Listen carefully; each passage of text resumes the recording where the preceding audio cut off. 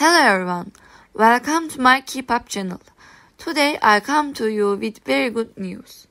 What did Fahriye Evcen say about Barış Arduç? Her explanations will surprise everyone. All the details are in this video. If you like my video, don't forget to subscribe to my channel and like my video.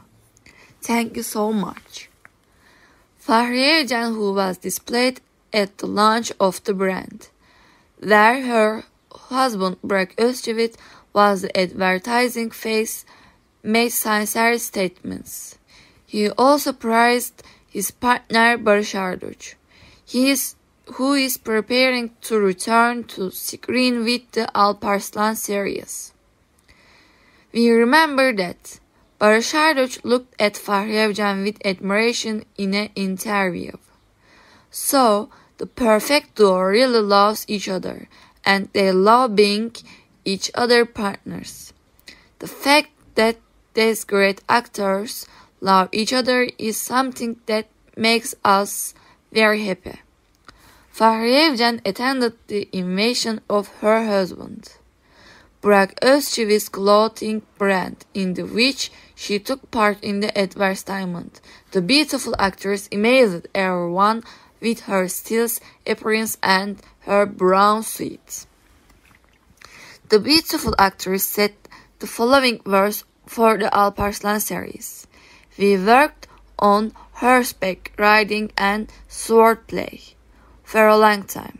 It's different from today's works because it's period drama. It takes a little more effort for the action scenes, but is very enjoyable. Fahriye Evcen was also asked about her partner Barış Arduç. The beautiful star spoke about Arduç as follows. We are on good terms.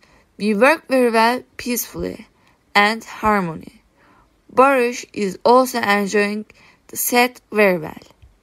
He said she said very nice words in this way, but unfortunately this beautiful partnership ended because Fahriye Evcen was pregnant. Allegedly, it was claimed that Barış Arduç said he was very happy about Fahriye Evcen's pregnancy. I hope it will be healthy.